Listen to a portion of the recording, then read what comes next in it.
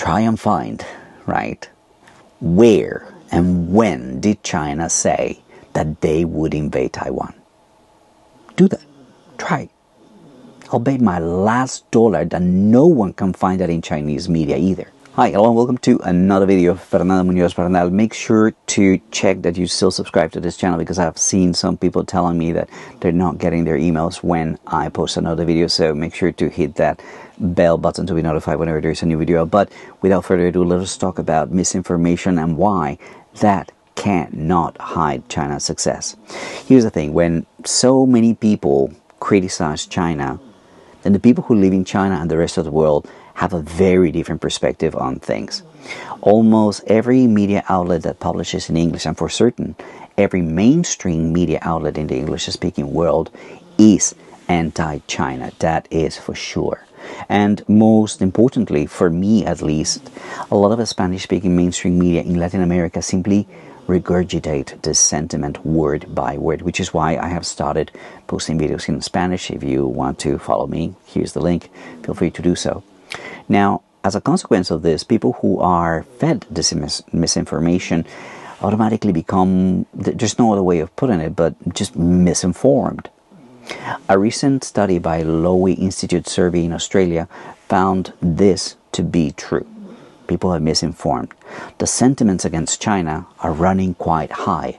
A great many people in Australia see China as a threat, and what is most intriguing to me is that they see Japan as an ally against that threat. Let us remember that it, there's only one country since England sent prisoners and soldiers to invade the land that now we call Australia that has invaded and bombed Australia. And it wasn't China, it was Japan. There's only one Asian country which captured thousands of Australians, including women and children, during the Second World War. They imprisoned them, they killed hundreds with medical neglect, slave labor, starvation. That wasn't China, that was Japan. And yet today, because Western media tells us that China is a threat, many people believe that. Because Western media tells us that China is collapsing, many people believe that. China is neither a threat nor is it collapsing. You are being misinformed. A very recent research paper that was carried out by a British professor in a partnership with a Hong Kong university has found, unsurprisingly, that British media is predominantly negative towards China. We didn't need an academic study to tell us this, uh, but it's always good to have some proof to back it up. Let us talk about Freedom House, one of the loudest pro democracy organizations in the English speaking world, who provided a 2022 report on Beijing global media influence. The report talks of many, many negative things such as misinformation, coercion, manipulation of social media, intimidating journalists, and paying social media influencers, like what I've been accused of, right? Among many other many other negative things. But what is strange is that there isn't a single example given on any of those things. We are simply told to rely on their findings and they have happened and that they could happen even more in the future. That's that's all we get.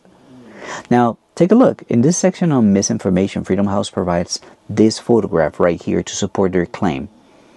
And it reads China mourns Notre Dame and Xi sends condolences to parents. Those are the headlines. Surely, in a report about misinformation, these authors could find some information that could assert as being untrue. Otherwise, I don't, I don't get where the misinformation is. Chinese people do mourn the fire in the iconic French cathedral. Xi did send condolences. How is this the best they can find? I've got a challenge for you guys, see if, if you're up to it. Go to Global Times, go to China Daily, go to People's Daily. All of them have English websites, which I've linked in the description down below, and find something in there that's a lie. Find the misinformation and bring it back to me here in, in a comment. Now, while you're in there, it might be a good time to try and find, right, where and when did China say that they would invade Taiwan? Do that. Try.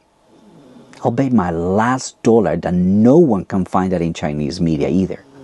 But you can find it on a daily basis in Western media. So, which of our media is actually misinforming us? China is a dangerous threat, not to Australia or any other country or, or region, or certainly not Taiwan. It is a threat to the current world order because of one thing and one thing only because it is not collapsing. China does have the largest military in the world and it is still growing, but it's never sent that military overseas to protect resources. In fact, China sends its businessmen to, to, to, to do business around the world and to trade for them. China has never used the words national security to engage in any kind of hostile actions against any other country. China has never asked another country to develop a communist ideology, as Western democracies often do. And it has never, never undermined an election to get the results that it wants, despite there being allegations that it has. There's never been an ounce of evidence that they did. Think about it. Why on earth would China care if Biden or Trump wins the next election over there? Or if Rishi gets another term or is ousted by Starmer? Think about it. What possible benefit is there to China from any of these outcomes? These are all anti China people. They just want to slow China down.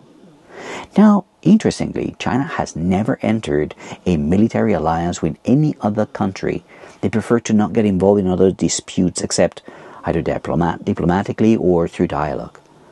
It is also the only nuclear power to unconditionally commit to a no first strike policy that should be remembered every now and then. So, if China is not a military threat, it's not a political threat, it's not an ideological threat, there's only one thing left an economic threat. And it can't be an economic threat and be in danger of collapse at the same time. That just cannot be true. China right now is the world's second largest economy and it's growing twice as fast as the US economy, which has its growth slowed down due to inflation during the first Q1. Chinese economy is also growing 10 times or more than the UK and most European economies.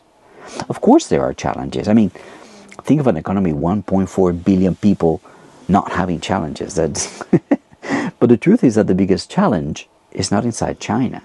It's the misinformation caused by think tanks like Freedom House that creates reports based on flawed assumptions. Then, these assumptions are amplified by journalists who are either too afraid to lose their jobs or too lazy to do proper research because this then causes the public sentiment to move away from China, and that means that populist politicians that are looking for votes who can't use the truth to get elected then choose to go with the flow and continue this China bad narrative. Anything other than that would be political suicide for them in the West. Now, if we're being honest, I feel that China appears to be quite bad at countering misinformation, but in fact, they aren't. They simply know the truth is very hard to hide and they just don't bother countering it. They don't need to. It, truth will prevail. Think about this. The president of Equatorial Guinea was in China last month, as was the leader of the United Arab Emirates and the president of Egypt. China has established comprehensive strategic partnerships or strategic partnerships with 14 Arab countries and the Arab League and they are a key development partner of the Eurasian Economic Union. The president of Russia, Vladimir Putin, was here in China just a couple of weeks ago, too. Xi Jinping was in France, Hungary, Serbia last month as well. Just a few weeks before that, Scholz from Germany was here in China. In April, the president of Micronesia was here, as was the president of Suriname. In fact, in April, China had visits from Asian countries, including Vietnam, uh, Singapore, and both Europe and the USA, with Blinken and Yellen at different times, came to China. China is also the founding member of BRICS, uh, also the Shanghai Cooperation Organization, SCO, the the Regional and Comprehensive Economic Partnership. They're the largest trading partner of ASEAN, and despite some political differences, mostly brought about through this misinformation that we're talking about today, they are the largest trading partner of European Union too. In fact, as of last year, China was the largest trading partner of more than 120 countries. Now, if you cannot see a pattern there, then let me help you a little bit more. The South Pacific region, Latin America, Africa, Europe and the Middle East, and most of Asia want to do business with China. Even the USA knows that it needs China. It needs China to slow down. and they will do whatever they can to hinder China's growth. Now, domestically, regionally, and on a global scale, China is here to stay. And the US better be careful of what their media, their think tanks, and their politicians wish for. If they want to decouple, de risk, reshore production, or whatever fancy name that they're giving it now, they must accept that they will be hurting themselves a lot more than they will hurt China. China has already more trade with the developing world than it has with the developed world. China has also diversified away from basic manufacturing and moving towards high technology, although China is still the world leader in said basic manufacturing and trading by quite a long way, so they're winning on both races. The US can take China out of their list of trading partners if they want, but they cannot take China out of their supply chains. China is here to stay, no matter what the, the misinformation might tell us, and no matter what the misinformation might want us to believe. China is not our enemy. And if you want confirmation of this, ask the African people ask the Latin Americans, ask all the Asians, or for that matter, do what I do read Chinese media for the truth. All right, friends, that's all the time we have for today. Thank you so much for watching. As always, if you like this content, give it a thumbs up. And if you like the content on my channel, consider subscribing. Hit the bell button to be notified whenever there is a new video out. You want to support the work that I do, make sure to hit the link in the description to buy me a cup of coffee. And until I see you again, take it easy and bye for now. And to all of you who have supported me here on the screen, thank you so much. I appreciate it. Until I see you again, take it easy and bye for now.